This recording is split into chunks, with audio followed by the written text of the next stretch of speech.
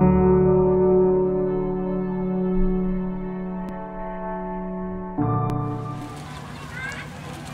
មែរយើងនេះនិយាយ3ភាសាណាញោមយកភាសា3មកនិយាយជាមួយគ្នាសម្រាប់ទៅជាភាសាខ្មែរ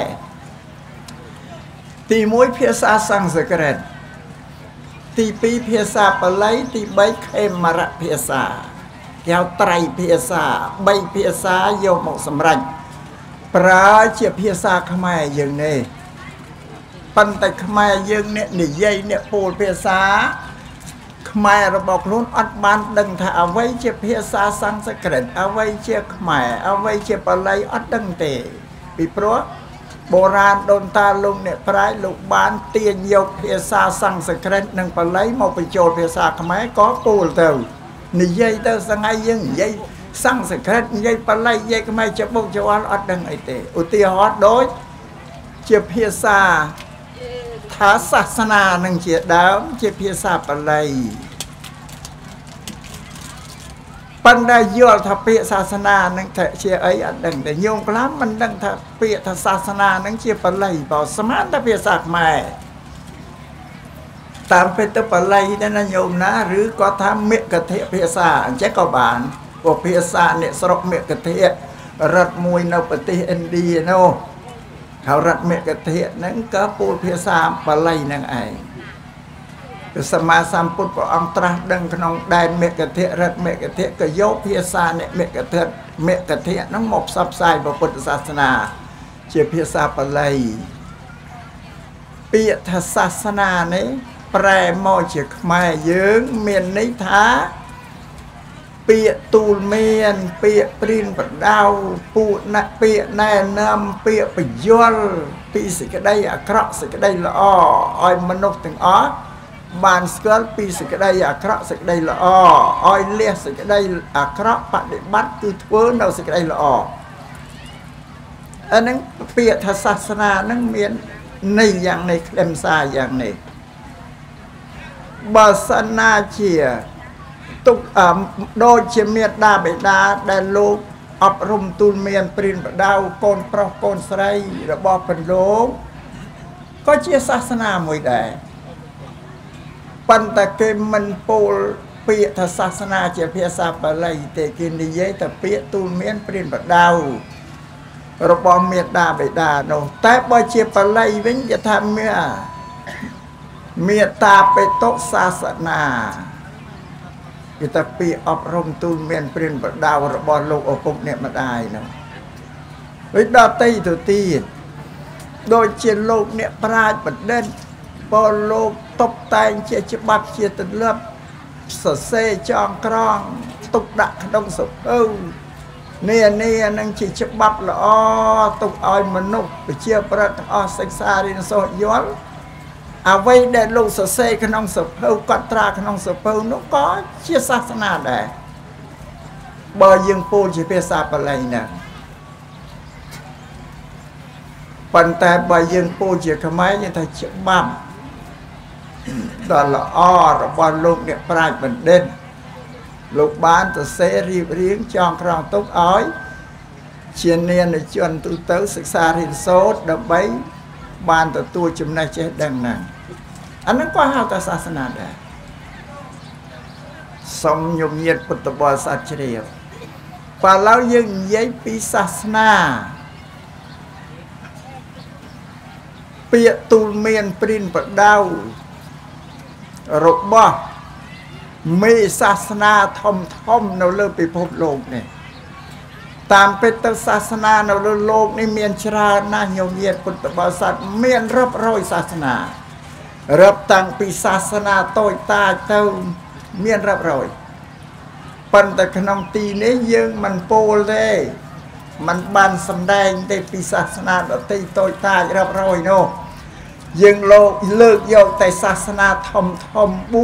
4ពោសម្ដែងសាសនាធំធំ4នោះគឺមានពុទ្ធសាសនានឹងមួយព្រហ្មញ្ញសាសនា សប្តាហ៍កៅហិណ្ឌូសាសនាហិណ្ឌូនិង2សាសនាគ្រីស្ទានយេស៊ូនឹង3សសាសនាមូស្លីមនឹង4សាសនាចាមណានេះជាសាសនាដែលធំធំប្រដាសស្ថាននៅលើសកលលោកនេះសាសនាទាំង4នឹងមានពុទ្ធបរិស័ទរាប់លានក៏សិក្សារៀនសូត្រមានជំនឿគោរពបូជា ដូចជាសាសនាគ្រីស្ទៀនសាសនាមូស្លីមសាសនាហិណ្ឌូមានបរិស័ទច្រើនជាងពុទ្ធសាសនាទៅទៀតនឹងសាសនានោះសាសនាគ្រីស្ទៀននឹងនៅខាងអឺរ៉ុប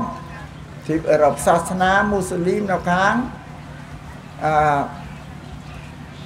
អារ៉ាប់នៅទ្វីបអារ៉ាប់ណាមានបរិស័ទច្រើនណាស់បង វិសាសនាហិណ្ឌូសាសនាព្រាហ្មណ៍នៅប្រទេសឥណ្ឌានៅចម្ពូទ្វីបនៅជាមួយនឹងពុទ្ធសាសនាហ្នឹងឯងក៏សាសនាព្រាហ្មណ៍ពុទ្ធសាសនានៅជាមួយគ្នាកើតក្នុងប្រទេសឥណ្ឌាចូលគ្នាហ្នឹងនេះសារៈសាសនាធំធំទាំង4នេះ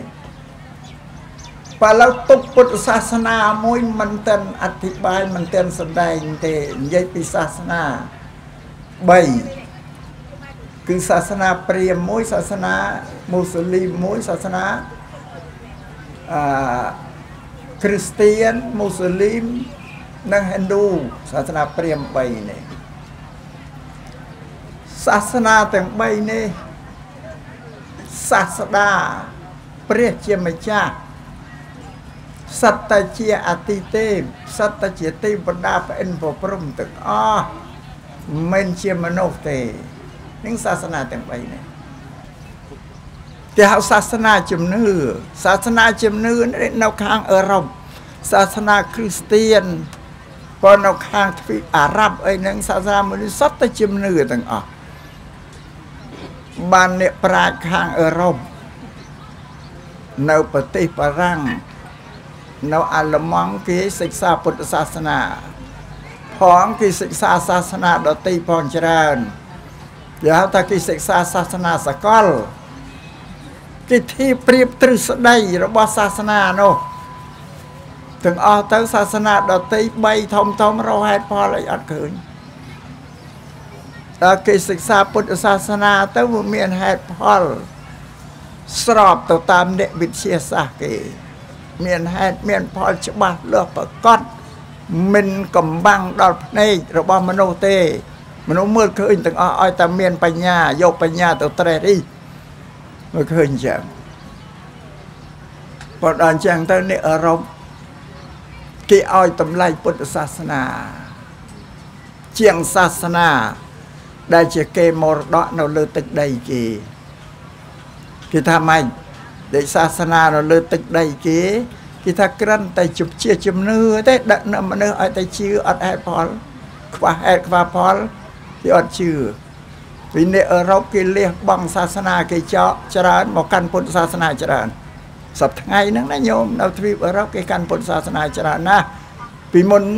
សម័យមុនពុទ្ធសាសនាផ្សាយទៅវាអត់ដល់ទេគេអត់ស្គាល់ពុទ្ធសាសនាដល់សប្តាហ៍គេស្គាល់ពុទ្ធសាសនា គឺត្រកោតពុជពងវង្សាអ្នកកាន់ពុទ្ធសាសនា យើងគួរតែឆ្ងល់ថាតើរឿងអីបានវាត្រឡប់អញ្ចឹងពុទ្ធសាសនាហូរចូលមកប្រទេសកម្ពុជាយើងសកលគ្នាតែនឹងសាសនាព្រាហ្មណ៍ហ្នឹងឯងមិនមកក្រោយទេ តាមប្រវត្តិសាស្ត្រដែលយើងរៀនហ្នឹងប៉ុន្តែដោយសារអ្នកដឹកនាំប្រទេសជាតិមុនដំបូងនោះលោកកាន់សាសនាព្រាហ្មណ៍នាំយកសាសនាព្រាហ្មណ៍ពី ឥណ្ឌាមកក៏ផ្សព្វផ្សាយពង្រីកសាសនាព្រាហ្មណ៍ហ្នឹងទៅពុទ្ធសាសនាមានដែរប៉ុន្តែជាសាសនាមួយតូចតាចសៀតបង្កប់ទៅតាមស្រុកតាមនិគមតាមត្រកូលខ្លះទេមានដែរតែដល់ថ្ងៃក្រោយមកពួកបណ្ឌិតអ្នកប្រាជ្ញដែលជាដូនតាយើងលោកសិក្សាសាសនាអញ្ចឹងដែរនោះរោគហេតុរោគផលក្នុងសាសនាហ្នឹង លោកសិក្សាសាសនាព្រាហ្មណ៍ផងពុទ្ធផងធៀបគ្នាដល់ឃើញសាសនាព្រាហ្មណ៍រហេតុផលអីវាមិនឃើញច្បាស់លើមានគ្រាន់តែជាជំនឿដល់ឃើញពុទ្ធសាសនាយើងនេះមានហេតុផលបានលុបដោសាសនាចេញអញ្ចឹងណាញោមញាតពុទ្ធបរិស័ទដោដេញសាសនាបានយើងទាំងអស់គ្នានេះ មានបុណ្យមានសំណាងភពព្រេងវាសនាណាបើតាមពុទ្ធសាសនាថាយើងមានឧបនិស្ស័យបច្ច័យបានធ្វើសេចក្តីល្អនឹងច្រើនណាស់បានកើតមកជួបនឹងពុទ្ធសាសនា thank you